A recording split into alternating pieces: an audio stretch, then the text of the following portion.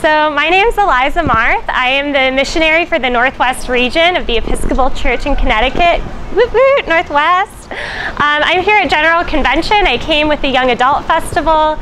Um, it was a community of 70 people and we had different programs, my favorite of which, um, instead of speed dating, we did speed learning.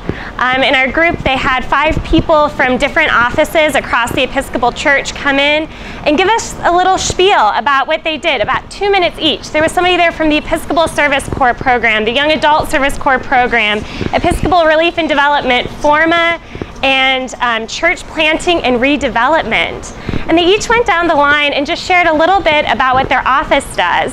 And my favorite part was they then split up into different areas um, of the hotel, and we got to go and pick who we wanted um, to talk more, to learn more about, where we wanted to um, deepen relationship and deepen connection. So for example, I had already done Episcopal Service Corps and have lots of friends who did the Young Adult Service Corps. So I was really drawn to the asset-based development through Episcopal Relief and Development, as well as the church planting and redevelopment, because I feel like that's more applicable to my context in the Northwest region.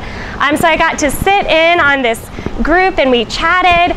Um, the people who are facilitating gave some of their experience, but then somebody would ask a question and some of the young adults would pitch in with their own experience. So we really got to learn from not only the wisdom and experience of the experts, the professionals, but also from each other's stories. And when we were ready to move to a different group, we could just get up and go. So um, the first group I was talking to began talking about campus ministry, which isn't really applicable to my context anymore. So I got up and went to Episcopal Relief and Development and learned about asset-based community development.